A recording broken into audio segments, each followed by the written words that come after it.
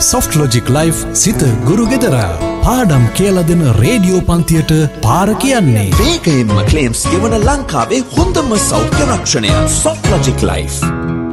Soft logic Life සිත ගුරු ගෙදර පාඩම් කියල දෙන රේඩියෝ පන්තිය. අද ප්‍රවීණ දේශක නිරෝෂන් දැඩිකමු ආචරතුමා සමඟ අපි දේශපාලන විද්‍යාව ඉගෙන ගනිමු. අයිබෝවන් සුබෝදෑසනක් ආදරණීය දුවේ පුතේ මේ ඔබ එකතු වෙලා ඉන්නේ සොෆ්ලොජික් ලයිෆ් සිත FM සමග එක්වගෙන එන සොෆ්ලොජික් ලයිෆ් ගුරු ගෙදරත් එක්ක. ඉතින් එහෙමනම් අද මම ඔබ සමග සාකච්ඡා කිරීමට බලාපොරොත්තු වන්නේ කුමක්ද? ඔබට මතක ඇති අපි පසුගිය සතියේ ඔබ සමග සාකච්ඡා කළා මේ දේශපාලන විද්‍යාවේ අධ්‍යයන ප්‍රවේශ පිළිබඳව සාකච්ඡා කළා. එතැන්දි අපි පසුගිය සතියේ ප්‍රධාන වශයෙන් කතා කළේ දාර්ශනික ප්‍රවේශය පිළිබඳව. දේශපාල විද්‍යාව අධ්‍යනය සඳහා පවතින සම්භාව්‍ය ප්‍රවේශයක් ලෙස දාර්ශනික ප්‍රවේශය යන්නෙන් අදහස් කරන්නේ කුමක්ද? දාර්ශනික ප්‍රවේශයේ මූලික ලක්ෂණ, පොදු ලක්ෂණ, ඒ වගේම දාර්ශනික ප්‍රවේශය කිසියම් පසුබෑමට ලක් වෙනවා. ඒ පිළිබඳව යලිත් දාර්ශනික ප්‍රවේශය නව පුනර්ජීවයක් ලබනවා. මේ සම්බන්ධයෙන් අපි පසුගිය සතියේ සාකච්ඡා කළා. ඒ අනුව මේ සතිය අපි සාකච්ඡා කරන්න බලාපොරොත්තු වෙනවා දේශපාල විද්‍යාව අධ්‍යයනය සඳහා පවතින චර්යාවාදී ප්‍රවේශය පිළිබඳව. චර්යාවාදී ප්‍රවේශය කිව්වම අපි දරුව දන්නවා විද්‍යාත්මක ප්‍රවේශය වශයෙන්ද අපි මේ චර්යාවාදී ප්‍රවේශය හඳුන්වනවා. ඒ කියන්නේ දේශපාලන විද්‍යාව අධ්‍යයනය සඳහා වර්තමානයේ නූතනයේ යොදාගත්ත විද්‍යාත්මක ප්‍රවේශයක් ලෙස අපට මේ ප්‍රවේශය හඳුනා ගන්නට පුළුවන්. මේ ප්‍රවේශය යොදාගෙන දේශපාලන විද්‍යාව අධ්‍යයනය කිරීම නිසා සත්‍ය වශයෙන්ම දේශපාලන විද්‍යාව විද්‍යාත්මක පරිවර්තනයට ලක්වෙනවා කියන කාරණාවත් මෙතන්දි අපි සඳහන් කරන්න ඕනි. ඉතින් අපි චර්යාවාදී ප්‍රවේශය හා සම්බන්ධයෙන් අද දවසේ මූලික වශයෙන් අවධානය යොමු කරනකොට මෙන්න මේ කාරණා පිළිබඳව අපි සාකච්ඡා කරන්න බලාපොරොත්තු වෙනවා. ඒ තමයි චර්යාවාදීන් හඳුන්වා දුන් විධික්‍රමය කුමක්ද? අපේ විධික්‍රමයට කියනවා දුවේ පුතේ ආනුභවික විධික්‍රමය කියලා. මෙන්න මේ කියන ආනුභවික විධික්‍රමය කොයි වගේද? ඒ ආනුභවික විධික්‍රමේ පියවර මොන වගේද? ඒ වගේම සාම්ප්‍රදායික අධ්‍යයන ප්‍රවේශ සහ මේ චර්යාවාදී විද්‍යාත්මක ප්‍රවේශය අතරේ තියෙන වෙනස්කම් මොනවාද? ඒ තුලින් දේශපාලන විද්‍යාව කිසියම් විද්‍යාත්මක මගකට ගෙන එන්න මේ චර්යාවාදී ප්‍රවේශය විසින් සිදු කරන ලද බලපෑම කොයි වගේද කියන කාරණා වගේම අපි සාකච්ඡා කරන්න බලාපොරොත්තු වෙනවා මේ චර්යාවාදී ප්‍රවේශයේ මූලධර්ම පිළිබඳවත් අපි සාකච්ඡා කරන්න බලාපොරොත්තු වෙනවා. ඒ වගේම අවසාන වශයෙන් බලාපොරොත්තු වෙනවා මේ චර්යාවාදී ප්‍රවේශයට එල්ල වී ඇති විවේචන පිළිබඳව සාකච්ඡා කරන්න බලාපොරොත්තු වෙනවා. ඉතින් මේ සම්බන්ධව අද දවසේ අපි සාකච්ඡා කරන්න බලාපොරොත්තු වෙනවා මේ කෙටි විරාමයෙන් අනතුරුව. සොෆ්ට් ලොජික් ලයි් සිත ගුරු ගෙදර පාඩම් කියල දෙන රේඩියෝ පන්තිය. අද ප්‍රවීණ දේශක නිරෝෂන් දැඩිකමු ආචරතුමා සමඟ අපි දේශපාලන විද්‍යාව ඉගෙන ගනිමු. හොදයි දුවේ පුතේ විරාමෙන් අනතුරුව නැවතත් අපි සම්බන්ධ වන්නේ සොෆ්ලොජික් ලයිව් ගුරු ගෙදරත් එක්ක. ඉතින් ඔබ දන්නවා අද දවසේ අපි සාකච්ඡා කරන්නේ දේශපාල විද්‍යාව අධ්‍යයනය සඳහා පවතින චර්යාවාදී ප්‍රවේශය පිළිබඳව. ඒ කියන්නේ විද්‍යාත්මක ප්‍රවේශය පිළිබඳව තමයි අද දවසේ අපි සාකච්ඡා කරන්නේ. මුලින්ම අපි අවධානය යොමු කරනවා මේ චර්යාවාදී ප්‍රවේශය යනුවෙන් අදහස් කරන්නේ කුමක්ද යන කරුණ පිළිබඳව ඔබට පැහැදිලි කරන්න. ඒ අනුව අපි චර්යාවාදී ප්‍රවේශය කියන්නේ පුතේ දේශපාලන චර්යාව දැන් ඔබ දන්නවා දේශපාලනයේදී ප්‍රධානම තේමාව ප්‍රධානම සාධකයේ බවට පත්වන්නේ මේ චර්යාව කියන දේ. ඉතින් දේශපාලන චර්යාව කියන එක මූලික දෙයක් බවට අපිට දේශපාලනයේදී පැහැදිලිව හඳුනා ගන්න පුළුවන්. ඒතර දේශපාලනය ශාස්ත්‍රීයව අධ්‍යයනය කරන දේශපාලන විද්‍යාවේදී මේ චර්යාවාදීන් යෝජනා කරන්නේ මේ දේශපාලන චර්යාව අප මූලික වශයෙන් අධ්‍යයනය කළ යුතුයි කියන කාරණාව. එතකොට මේ චර්යාවාදී ප්‍රවේශය කියලා කියන්නේ එහෙමනම් දේශපාලන චර්යාව මූලික කරගනිමින් දේශපාලනය හදාරන අධ්‍යයන ප්‍රවේශය තමයි අපි චර්යාවාදී ප්‍රවේශය කියලා අපි මෙතැන්දි අදහස් කරන්නේ. මෙතැන්දි අපි දැනගත යුතු කාරණාවක් තමයි දුවේ පුතේ මේ චර්යාවාදීන් මේ දේශපාලන විද්‍යාව අපි කිව්වන්නේ පැහැදිලිව අපි හඳුන්වා දීමේදී කිව්වනේ පැහැදිලිව දේශපාලන විද්‍යාව කිසියම් විද්‍යාත්මක පරිවර්තනයක් ලක් කළා කියලා. ඒ නිසා මේ දේශපාලන විද්‍යාව පිළිබඳව මේ සම්භාව්‍ය දේශපාලන විද්‍යාව පිළිබඳව චර්යාවාදීන් පැහැදිලිව අදහස් දක්වලා තියෙනවා. ඔවුන් ප්‍රකාශ කරනවා මේ සාම්ප්‍රදායික විදිහට දේශපාලන විද්‍යාව කියලා අපි හැඳින්වුවාට ඒකේ අර්ථය තමයි මේ ක්‍රමානුකූලව පියවරෙන් පියවර තර්කානුකූලව හැදෑරීම. නැවතත් මං කියන්නම් ක්‍රමානුකූලව පියවරෙන් පියවර තර්කානුකූලව හැදෑරීම. මෙන්න මේ තර්කානුකූලව දේශපාලනය හැදෑරීම තමයි මේ සාම්ප්‍රදායික අර්ථයෙන් දේශපාලන විද්‍යාව කියලා අදහස් කළේ. ඉතින් චර්යාවාදීන් කියනවා විද්‍යාව වශයෙන් හඳුනා ගන්නට නම් විද්‍යාවක් වශයෙන් හඳුනා ගන්නට නම් අනිවාර්යෙන්ම නූතනයේදී විද්‍යාත්මක විධික්‍රමය භාවිතා කරන්න සිද්ධ වෙනවා කියලා. ඒ අනුව ස්වභාවික විද්‍යාව වැනි නැචුරල් සයින්ස් කියලා අපි කියනවා ශුද්ධ විද්‍යාව කියලා කියනවා මේ ස්වභාවික විද්‍යාවේ භාවිතා කරන විධික්‍රමය දේශපාලන විද්‍යාව අධ්‍යයනය සඳහා භාවිතා කරන්න ඕනි කියලා තමයි මේ චර්යාවාදීන් පෙන්වලා දෙන්නේ. එතකොට එහෙමනම් චර්යාවාදීන් මේ සඳහා හඳුන්වා දුන්නු විධික්‍රමය තමයි ආනුභවික විධික්‍රමය කියලා අපි කියන්නේ. ඒ අනුව චර්යාවාදී ප්‍රවේශයේදී සිද්ධ වෙන්නේ දුවේ පුතේ මේ ආනුභවික විධික්‍රම යොදාගෙන චර්යාව පිළිබඳව අධ්‍යයනය කරමින් ඒ පිළිබඳ හදාරමින් දැනුම ලබා ගැනීම තමයි දේශපාලනය පිළිබඳ දැනුම ලබා ගැනීම තමයි මේ චර්යාවාදී ප්‍රවේශයේදී සිදුවන්නේ. මේ ප්‍රවේශය ඔබ දන්නවා පැහැදිලිවම මේ ඇමරිකානු දේශපාලන දාර්ශනිකයින් තුල වර්ධනය වෙච්ච ප්‍රවේශයක් විදිහට අපිට මේ ප්‍රවේශය හඳුනා ගන්නට පුළුවන්. එතකොට පැහැදිලිව අපි නිර්වචනයක් ඉදිරිපත් කරොත් චර්යාවාදී ප්‍රවේශය කියලා අපි අදහස් කරන්නේ මොකක්ද?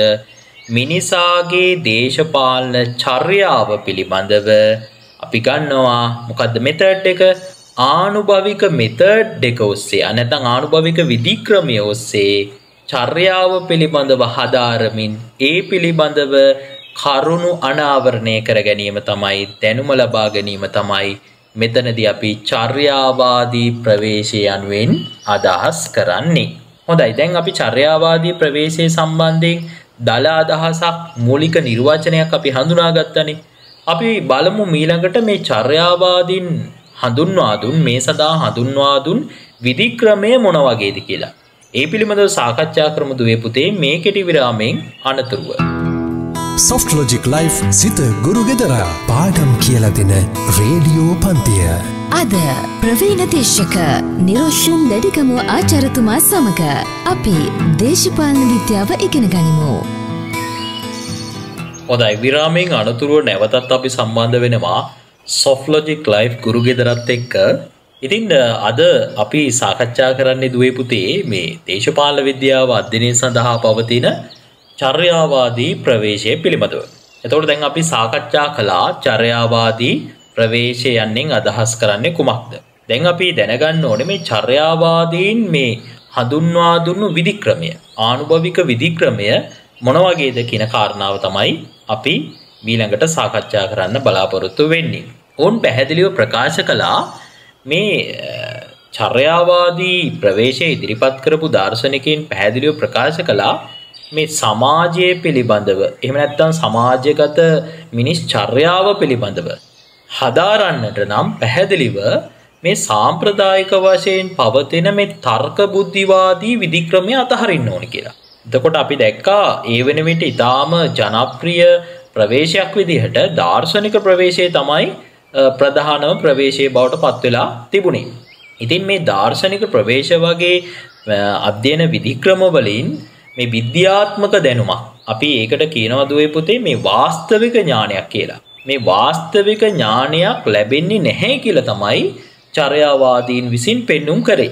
මොකද දුවේ පුතේ මේ වාස්තවික ඥානයක් කියලා කියන්නේ වාස්තවික ඥානයක් කියන්නේ අපි හරියටම නිරීක්ෂණය කරලා ඒ මත සාක්ෂි දත්ත මත පදනම් වෙලා අපි යම් කිසි දැනුමක් ලබා ගන්නව නම් අපි ඒ දැනුමට කියනවා දුවේ පුතේ වාස්තවික ඥානයක් කියලා. එතකොට දාර්ශනික ප්‍රවේශය තුළ පැහැදිලිව අපිට හඳුනා ගන්න පුළුවන් වෙන්නේ මනෝමූලික ඥානයක්. නමුත් මෙතනදී අපිට පැහැදිලිවම වාස්තවික ඥානයක් හඳුනා ගන්න පුළුවන් වෙනවා මේ චර්යාවාදී ප්‍රවේශයේදී. එතකොට ඔවුන් ප්‍රකාශ කළේ මේ දේශපාලනය පිළිබඳව අපි ලබා ගන්න ඕනේ පැහැදිලිවම වාස්තවික ඥානයක් වාස්තවික දැනුමක් අපි ලබා ගන්න ඕනේ. ඒ කියන්නේ සමාජය පිළිබඳව දේශපාලන චර්යාව පිළිබඳව අපි නිරීක්ෂණය කරලා ඒ පිළිබඳව හමුවන සාධක සාක්ෂි මත පදනම් වෙලා අපි ලබා ගන්න විද්‍යාත්මක දැනුම තමයි මෙතනදී අපි දේශපාලනය පිළිබඳව වාස්තවික ඥානයක් කියලා අදහස් කරේ. එතකොට මේ වාස්තවික දැනුමක් වාස්තවික ඥානයක් ගොඩනැගීමට ඔවුන් හඳුන්වා දුන්නු විධික්‍රමය තමයි දුවේ පුතේ අපි හඳුන්වන්නේ ආනුභවික විධික්‍රමය කියලා. එතකොට මේ ආනුභවික විධික්‍රමය කවුද හඳුන්වලා දෙන්නේ මුලින්ම? මේ විධික්‍රමය මුලින්ම හඳුන්වලා දෙන්නේ 1561 දී ඉංග්‍රීසි ජාතික චින්තකයෙක් වන ෆ්‍රැන්සිස් බේකන් විසින් තමයි මේ විධික්‍රමය හඳුන්වා දෙන්නේ.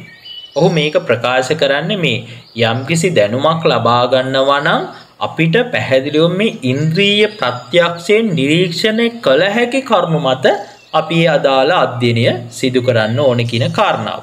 ඉතින් එහෙමනම් මේ විධික්‍රමය භාවිතා කරගෙන පුද්ගලයාගේ දේශපාලන චර්යාව මේ ආනුභවික විධික්‍රමය ඔස්සේ ආනුභවික පර්යේෂණයට ලක්කරමින් ඒ මත ලබා ගන්නා ප්‍රමාණාත්මක දත්ත මත මොන දත්තද පුතේ අපි දැන් සාමාන්‍යයෙන් චර්යාවක් පිළිබඳව කතා කරනකොට අපිට හම්බෙන්නේ මේ ගුණාත්මක දත්ත කියන එක. නමුත් අපි මෙතෙන්දි ගන්නේ චර්යාව පිළිබඳව ප්‍රමාණාත්මක දත්ත. එතකොට චර්යාව පිළිබඳව අපි ගන්න ප්‍රමාණාත්මක දත්ත උපයෝගී කරගනිමින් චර්යා රටාවන් සහ ඒවායේ ගති ලක්ෂණ පිළිබඳව අනාවරණය කර ගැනීම තමයි මෙතෙන්දි සිද්ධ වෙන්නේ. ඒ අනුව පැහැදිලිව කියන්න පුළුවන් ආනුභවික විධික්‍රමය ඔස්සේ චර්යාව පිළිබඳව විද්‍යාත්මක දැනුමක් ලබා ගැනීම මෙතනදී සිදු වෙනවා. අපි ආනුභවික විධික්‍රමේ පියවර පිළිබඳව සාකච්ඡා කරමු මේ කෙටි විරාමයෙන් අනතුරුව. සොෆ්ටලෝජික් ලයිෆ් සිත ගුරු ගෙදරා පාඩම් කියල දෙන රේඩියෝ පන්තිය. අද ප්‍රවීණ දේශක නිරෝෂන් දැඩිකමු ආචරතුමා සමඟ අපි දේශපාලන විද්‍යාව ඉගෙන ගනිමු. හොදයි විරාමෙන් අනතුරුව නැවතත් අපි සම්බන්ධ වන්නේ සොෆ්ලෝජික් ලයි් ගුරු ගෙදරත් එක්ක අපි අද දවසේ සාකච්ඡා කරන්නේ මේ දේශපාල විද්‍යාව අධ්‍යනය සඳහා පවතින නූතන අධ්‍යයන ප්‍රවේශයක් වන චර්යාවාදී ප්‍රවේශය පිළිබඳව තමයි අද දවසේ අපි සාකච්ඡා කරන්නේ. ඒ අනුව ඔබට පැහැදිලිව අවබෝධයක් ලබා දුන්නා මේ චර්යාවාදී ප්‍රවේශය කියලා අපි අදහස් කරන්නේ කුමක්ද? ඒ චර්යාවාදීන් හඳුන්වා දුන්නු ආනුභවික විධික්‍රමය කියලා අපි අදහස් කළේ කුමක්ද යන කරුණ පිළිබඳව ඔබට පැහැදිලි අවබෝධයක් අපි ලබා දුන්නා. මීළඟට බලාපොරොත්තු වෙනවා දුවේ පුතේ මේ චර්යාවාදී විධික්‍රමේ පියවර පිළිබඳව සාකච්ඡා කරන්න. ඇතර මේ චර්යාවාදී ප්‍රවේශය තුළ මේ ආනුභවික විධික්‍රමයේ භාවිතා කල්ලා අපිට මේ පුද්ගලයකුගේ චර්යාව පිළිබඳව කිසියම් විද්‍යාත්මක හැදෑරීමක් කරන්නට පුළුවන්. ද අපි හිතමු මේ පුද්ගලයකුගේ චන්දදායක යකු ලෙසින් සිදු කරන චර්යාව තියෙනවනේ චන්දදායකගේ චර්යාව. මේ චන්දදායකගේ චර්යාව අපිට පුළුවන් මේ ආකාරයේ ආනුභවිකව පර්යේෂණය ලක්කරමින් අපි ඒ නිරීක්ෂණය ඔස්සේ ලබා ගන්නා මොන දත්තදේ පුතේ ප්‍රමාණාත්මක දත්ත උපයෝගී කරගනිමින් අදාළ ඡන්දදායකයින්ගේ චර්යාව පිළිබඳව අපිට විවිධ විශ්ලේෂණ ඉදිරිපත් කිරීමේ හැකියාවක් තියෙනවා. ඉතින් අපිට මේ චර්යා රටාවන් හොඳට අධ්‍යයනය කිරීමේ හැකියාවක් තියෙනවා. ඉතින් මේ ආනුභවික විධික්‍රමය යොදාගෙන මේ ආකාරයෙන් පුද්ගලයකුගේ දේශපාලන චර්යාව අපට අධ්‍යයනය කිරීමේ හැකියාවක් තියෙනවා. ඉතින් එහෙමනම් මේ විධික්‍රමේ අපි අනුගමනය කරන පියවර මොනවාද? මෙන්න මේ කාරණාවත් අපි පැහැදිලිව අවබෝධ කරගන්න ඕනේ. අපි මේ ආනුභවික විධික්‍රමේ දුවේ පුතේ මුලින්ම කරන්නේ අපි පර්යේෂණය ආරම්භ කරන්නේ අපිට අධ්‍යයනය කරන්න තියෙන ප්‍රධාන කරුණට අපි කියනවා ප්‍රස්තුතය කියලා. අපි ඒ අධ්‍යයනය කරන්න තියෙන ප්‍රස්තුතය පිළිබඳව අපි තුල තියෙන දැනුම අපි තුල තියෙන දැනුම අපි සමහර වෙලාවට ඒක උපකල්පිත දැනුමක් වෙන්නට පුළුවන්. ඒ දැනුම පාදක කරගෙන ඒ දැනුම පදනම් කරගෙන අපි ගොඩනගා ගන්නවා මුලින්ම උපකල්පනයක් ගොඩනගා ගන්නවා. ඒ කියන්නේ කෙනෙක්ගේ චර්යාව පිළිබඳව අපි උපකල්පනයක් ගොඩනැගීම තමයි මුලින්ම සිදුවන්නේ. එතකොට අපි මේ උපකල්පනය ගොඩනගා ගත්තට පස්සේ දැන් කෙනෙකුට හිතන්න පුළුවන් මේ උපකල්පනය ගොඩනගා ගත්තාම ඒක විද්‍යාත්මකද කියලා. ඈදුවේ පුතේ එතනින් එහාට අපි අනුගමනය කරන පියවර වලින් තමයි ඒක පැහැදිලිව අපිට කියන්න පුළුවන් වෙන්නේ. එතකොට මේ පස්සේ කරන්නේ අපි මේ නිරීක්ෂණය කරනවා මේ අදාළ ප්‍රස්තුතය පිළිබඳව අපි නිරීක්ෂණය කරනවා. ඒ කියන්නේ අදාළ චර්යාව පිළිබඳව අපි නිරීක්ෂණය කරනවා. අඛණ්ඩව නිරීක්ෂණය කරනවා. එතකොට මේ නිරීක්ෂණය කළාම අපට ලැබෙනවා අපි අධ්‍යයනය කරන ප්‍රස්තුතයට අදාළව දත්ත හා කරුණු අපිට ලැබෙනවා. ඒ ලැබෙන්නේ මොන දත්තද පුතේ? අපිට හම්බෙන්නේ ප්‍රමාණාත්මක දත්ත. අපි එතකොට ලබා ගන්නවා මොන දත්තද? ප්‍රමාණාත්මක දත්ත අපි ලබා ගන්නවා. අපි ලබා ගන්න ප්‍රමාණාත්මක දත්ත ලබා ගත්තට පස්සේ අපි ඊළඟ පියවර විදිහට කරන්නේ අපි ගත්ත දත්ත දත්තවල විශ්ලේෂණයක් අපි කරනවා. ඒ දත්තවල විශ්ලේෂණයක් කරනවා. එහි විශ්ලේෂණයක් අපි කරනකොට අපිට හිතාගන්න පුළුවන් මං මුලින්ම සඳහන් කරන්නේ දුවේ පුතේ මේ ප්‍රස්තුතය පිළිබඳව අපි දැනුම පදනම් කරගෙන උපකල්පිතයක් ගොඩනගා ගන්නවා කියලා. අපි ඒ ගොඩනගාගත්ත උපකල්පිතය හරිද වැරදිද? එහෙම නැත්නම් ඒක උපකල්පිතය හරිනම් අපේ අදාළ කාරණාව අපිට ස්ථිර කරන්න පුළුවන්. උපකල්පනේ වැරදිනම් අපිට ඒක ප්‍රතික්ෂේප කරන්න පුළුවන්. එහෙමනම් අර නිරීක්ෂණය මාර්ගයෙන් ලබාගත්ත කරුණු මත පදනම් වෙලා ලැබුණු ප්‍රමාණාත්මක දත්ත මත පදනම් වෙලා අපි කරන්නේ අදාළ උපකල්පිතේ වළංගුභාවය පිළිගැනීම හෝ ප්‍රතික්ෂේප කිරීම සිදු කරනවා. ඊට පස්සේ තමයි අදාළ පර්යේෂණයට අදාළව මිනිස් චර්යාවට අදාළව යම් කිසි නිගමනයට එළබෙන්නේ. මේ ආකාරයෙන් ආනුභවික විධික්‍රමේ පියවර අපිට හඳුනා ගන්නට පුළුවන්. ඔබට පේනව නේද චර්යාව ඊටාම විද්‍යාත්මක මැනබැලීමක් මෙතනදි සිද්ධ වෙනවා කියන කාරණාව.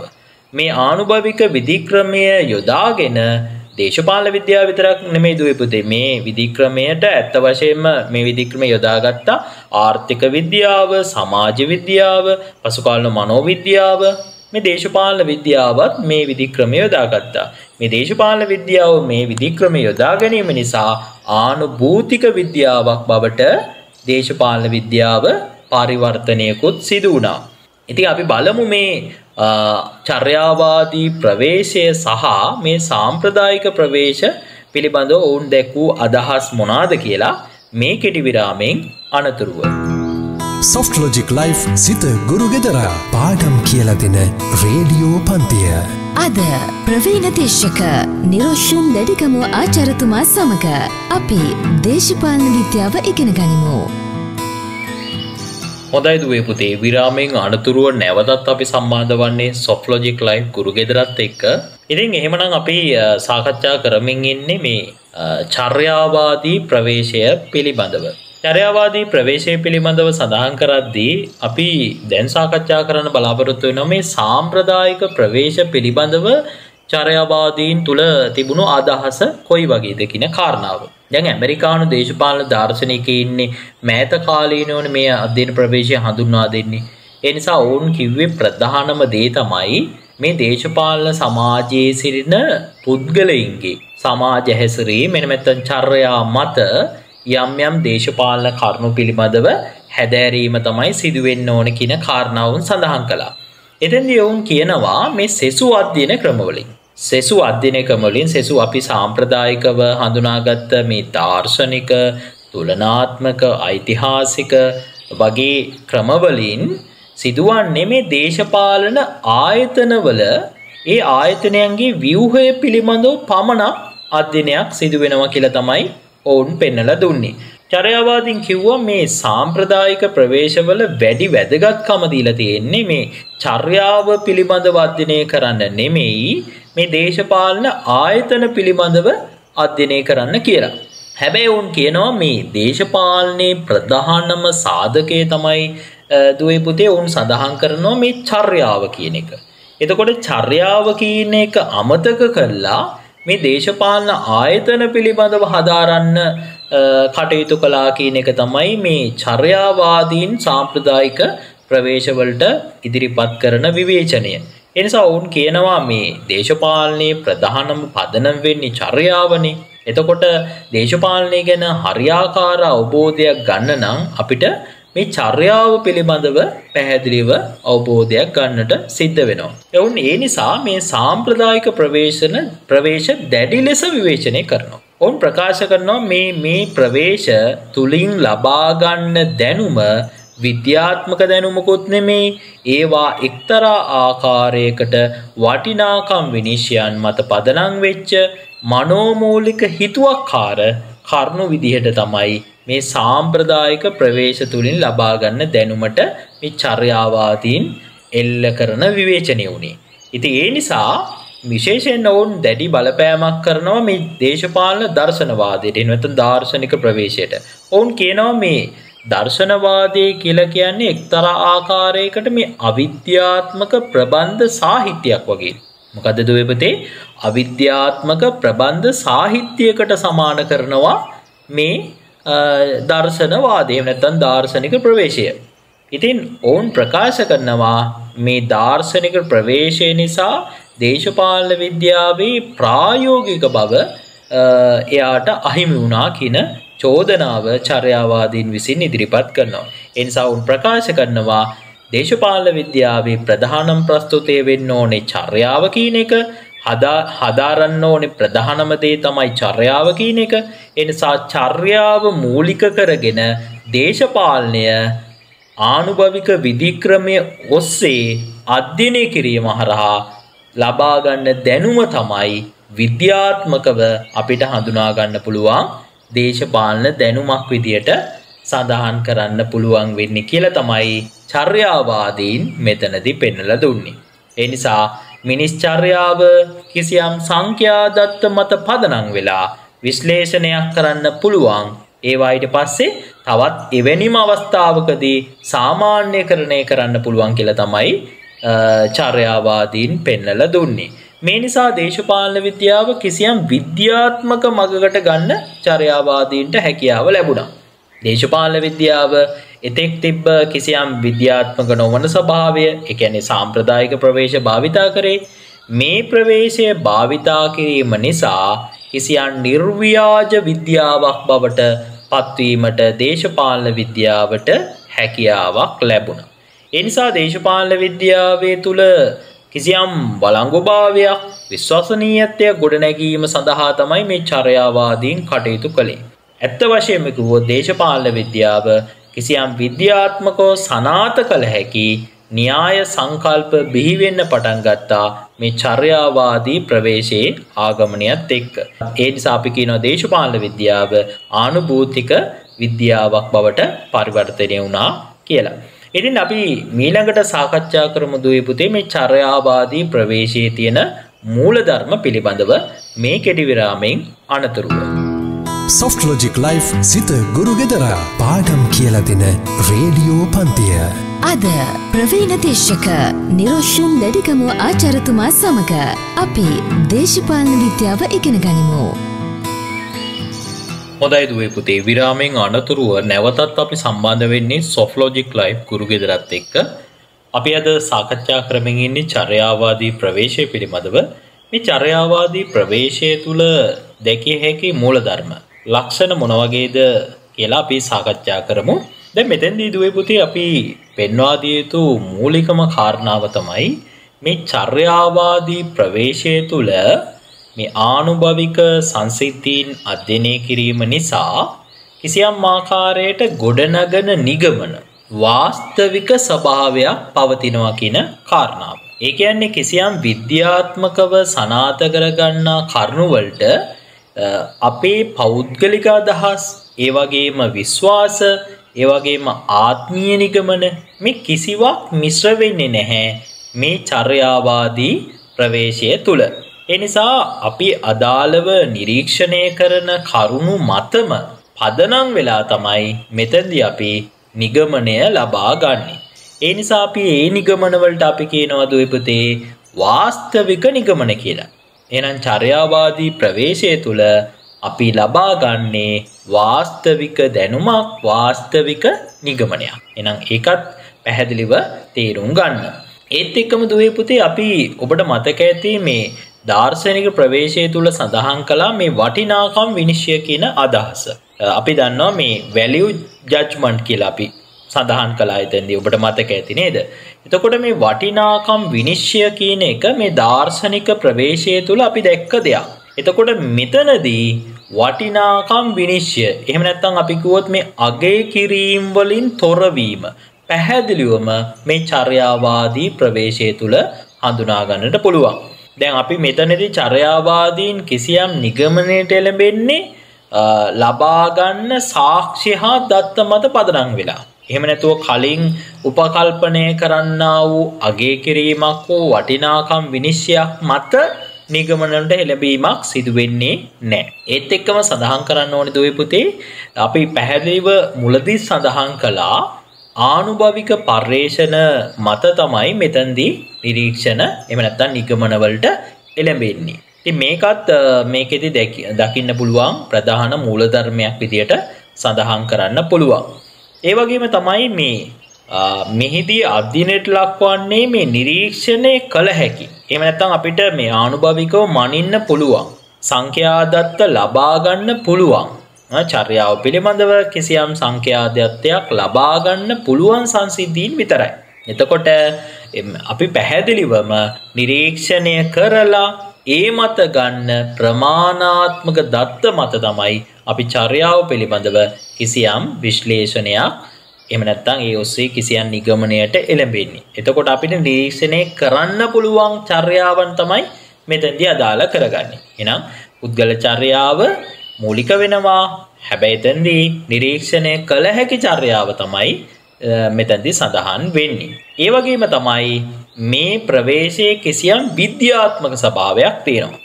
මේ ප්‍රවේශය අපි කියන පුතේ කිසියම් විද්‍යාත්මක ස්වභාවයක්. ඒ කියන්නේ චර්යාව පිළිබඳව විද්‍යාත්මක හැදෑරීමක් මේ ප්‍රවේශය තුලදී සිදු වෙනවා. නිසා අපිට පැහැදිලිව කියන්න පුළුවන් මේ චර්යාවාදී ප්‍රවේශය විද්‍යාත්මක ප්‍රවේශයක් කියලා අපිට සඳහන් කරන්න පුළුවන්. මෙන්න මේ ආකාරයට චර්යාවාදී ප්‍රවේශය තුළ පැහැදිලි මූලධර්ම ගණනාවක් අපිට හඳුනා ගන්නට පුළුවන්කම ලැබෙනවා. ඒ වගේම තමයි දුවේ පුතේ මේ චර්යාවාදී ප්‍රවේශය අපට හඳුනා ගන්න පුළුවන් වාසි මෙන්ම අවාසි සහගත තත්වයකුත් මෙතැන්දී සඳහන් කරන්නට පුළුවන්. දැන් ඔබ දන්නවා මේ දේශපාලනයේ කේන්ද්‍රීය සාධකය වෙන්නේ චර්යාවනේ. එතකොට චර්යාව මූලික කරගෙන හැදෑරීම තුළින් සත්‍ය වශයෙන්ම දේශපාලනයේ අර ප්‍රධානම මූලිකම ප්‍රස්තුතය පිළිබඳ හැදෑරීම සිදු වෙනවා. එම කරුණ මෙතෙන්දී අපිට පෙන්වා දෙන්න පුළුවන් ප්‍රධාන වාසියක් ලෙස. හැබැයි මේ චර්යාවාදය තුළින් යොදා මේ සොයාගන්න න්‍යායන් අපට මේ විශ්ව ව්‍යාප්ත මට්ටමින් යොදාගන්න පුළුවන්ද. ඒ පිළිබඳ ප්‍රශ්නයක් තියෙනවා නේද විපති. එක් රටක චර්යාව පිළිබඳව ගන්න න්‍යායක් ඒ තුළින් ගන්න නිගමනයක් තවත් රටකට අපිට යොදාගන්න පුළුවන්ද. එහෙම කරන්න ටිකක් අමාරුයි. මොකද චර්යාව කියන එක අපි දන්නවා රටෙන් රටට සමාජයෙන් සමාජයට පැහැදිලිව වෙනස් වෙනවා කියලා. ඒ වගේම තමයි එතෙන්දී අපි කිව්වේ කාරණාව වගේ කාරණාවක් තමයි මෙතෙන්දී සඳහන් කරන්නේ. ඒ තමයි මිනිස් හැසිරීම අපි දන්නවා කොහොමත් එහෙම සාමාන්‍යකරණය කරන්න බෑ. හැසිරීම සාමාන්‍යකරණය කරන්න බෑ. එහෙනම් පැහැදිලිව අපිට පේනවා මේ චර්යාවාදී ප්‍රවේශය පැහැදිලිවම මේ එක් තැනකදී ගන්න නිගමනයක් තවත් තැනකට අදාළ කරගන්න බෑ කියන කාරණා. මේ වගේ වාසි අවාසි සහගත තත්වෙනුත් අපිට මෙතෙන්දී හඳුනා ගන්නට පුළුවන්. අපි බලමු චර්යාවාදී ප්‍රවේශය සම්බන්ධයෙන් එළවෙලා තියෙන විවේචන මොනවාද කියලා අපි සාකච්ඡා කරමු. අපි චර්යාවාදී ප්‍රවේශය පිළිබඳව පුළුල්ල සාකච්ඡා කළා. මේ සම්බන්ධයෙන් මොනවාද ඉදිරිපත් වෙලා තියෙන විවේචන මොනවාද? මේ චර්යාවාදී ප්‍රවේශය පිළිබඳවත් නූතන විද්‍යාත්මක ප්‍රවේශයක් වුණාට මේ සම්බන්ධිනුත් යම් යම් විවේචන ඉදිරිපත් වෙලා තියෙනවා. ප්‍රධාන වශයෙන් අපි කිව්වොත් මේ චර්යාවාදීන් කරලා තියෙනවා මේ දේශපාලන විද්‍යාවේ විෂයපතය කිසියම් පටු කිරීමක්. ඒ කියන්නේ දේශපාලන විද්‍යාවේ විග්‍රහයන් කිසියම් තාක්ෂණික ව්‍යායාමයක් බවට පත් කරලා තියෙනවා. ඔවුන්ට එල්ල වෙන ප්‍රධානම විවේචනය තමයි මේ දේශපාලන විද්‍යාදිනේ වැදගත්ම අපි කියනවා මේ හරවත්ම අංගය තමයි මේ වටිනාකම් විනිශ්චය කියන එක. එතකොට මේ චර්යාවාදීන් අපි පැහැදිලිව සඳහන් කළා මේ වටිනාකම් විනිශ්චය කියන එක ඔවුන් බැහැර කළා තියෙනවා. ඒ වගේම තමයි මෙතනදී ඔවුන්ට විවේචනයක් ඉදිරිපත් වෙනවා මේ දේශපාලන ශේෂ්ත්‍රයේ තියෙන සෑම සංසිද්ධියක්ම. අපි දන්නව නේද පුතේ අපිට එහෙම අධ්‍යයනය කරන්න පුළුවන් දානුභවිකව නිරීක්ෂණය කරන්න පුළුවන්ද අපිට? එහෙම නිරීක්ෂණය කරන්න අපිට අපහසුයි. එතකොට දේශපාලන ශේෂ්ත්‍රයේ තියෙන සෑම සංසිද්ධියක්ම ආනුභවික කිරීම එක්තරා ආකාරයට ඒ දේශපාලන සංසිද්ධීන් සංසිද්ධීන්ගේ දේශපාලන හරය අහිමි කිරීමක් අහිමි කිරීමක් විදියට මෙතැන්දි විවේචනයක් ඉදිරිපත් වෙනවා. මේ ආකාරයෙන් චර්යාවාදී ප්‍රවේශය පිළිබඳව යම් යම් විවේචනත් ඉදිරිපත් වෙලා තියෙනවා. ඉතින් අද දවසේ අපි සාකච්ඡා කළේ දුවපුතේ මේ දේශපාලන විද්‍යාව අධ්‍යයනය සඳහා පවතින නූතන විද්‍යාත්මක ප්‍රවේශයක් වන චර්යාවාදී ප්‍රවේශය පිළිබඳව. මහිතන ඔබට පැහැදිලි දැනුමක් මේ සම්බන්ධයෙන් ලැබුණ කියලා අපි විශ්වාස කරනවා අපි ලබන සතියේ මුණගැහැමුදුවේ පුතේ තවත් අධ්‍යයන ප්‍රවේශයක් සම්බන්ධයෙන් සාකච්ඡා කිරීමට. ආයිබෝවන්! සොෆ්ටලෝජික් ලයි් සිත ගුරු ගෙදර පාඩම් කියල දෙන රේඩියෝ පන්තිය. සොෆ්ටලෝජික් ලයි් සිත ගුරු ගෙදර පාඩම් කියල දෙන රේඩියෝ පන්තියට පාරකිව්වේ. වේගයෙන්ම ක්ලේම්ස් ගෙවන ලංකාවේ හොඳම සෞඛ්‍ය රක්ෂණය සොෆ්ලජික් ලයිෆ්.